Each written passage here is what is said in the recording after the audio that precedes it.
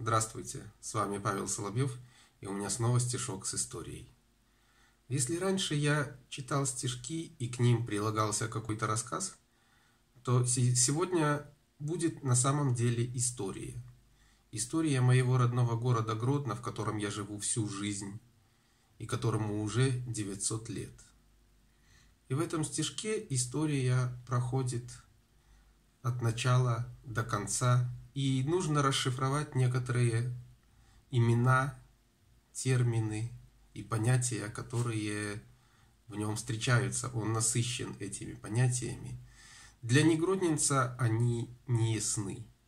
Я думаю, что и для некоторых гродненцев я расскажу что-то новое. Я думаю, что это на самом деле так.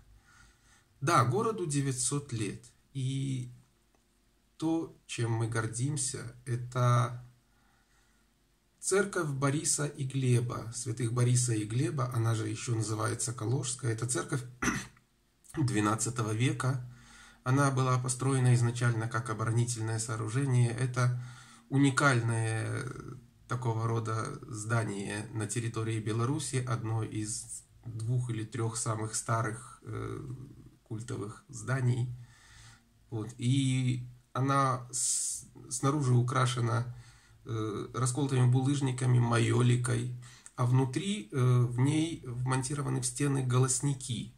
Это такие кувшины, которые в стенах, э, в стены вделаны раструбами внутрь, раструбами в помещение.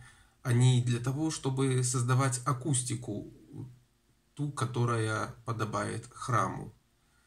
Церковь святого Бориса и Глеба э, – еще одно э, здание, которое знаковое для Гродно, это старый замок. Его построил великий князь литовский Витовт.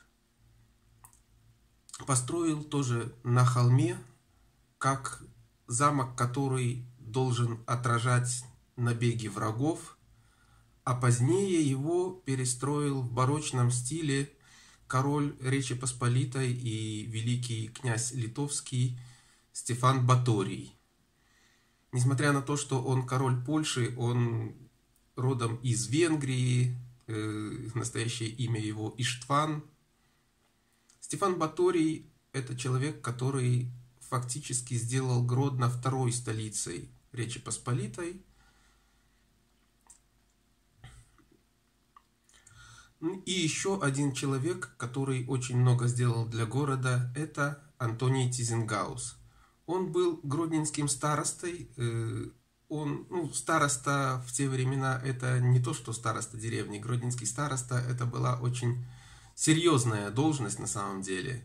И Антоний Тизенгаус э, построил здесь э, первый театр, он построил несколько мануфактур, дал заложил район, который называется Городница.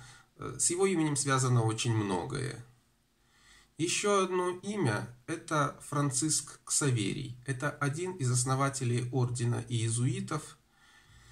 На главной площади города сейчас стоит костел, который носит его имя. Он был построен иезуитами, сейчас это главный приходской католический храм Гродно – что еще?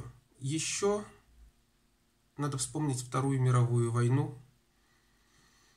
Фашисты захватили Гродно практически сходу. Город не был разрушен. Может быть, только предварительная небольшая бомбардировка э, разрушила несколько зданий. Но город сохранился, и именно поэтому он сейчас считается жемчужиной Беларуси. Это самый красивый город нашей страны, и это не потому, что я в нем живу, это на самом деле так. Когда немцы захватили Гродно, они его переименовали. Город стал называться Гартен, сад. Не дай бог нам больше таких садов. Ну и точку в этом произведении поставил Владимир Короткевич, наш великий белорусский писатель. Наверняка э, даже не белорусы знают имя Короткевича по произведению «Дикая охота короля Стаха». Он написал очень много э, и прозы, и замечательных стихов. И один из романов Короткевича называется «Христос приземлился у Городней». Христос приземлился в Гродно. И вот эта вот фраза, это название романа, оно было первым, что ко мне пришло и на чем потом построился этот стишок. Этот город мой. Этот город Стефана Давыда. Город день, город капля росы на моих руках.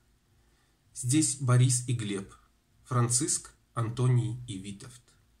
Здесь пространство и время закуклены в голосниках.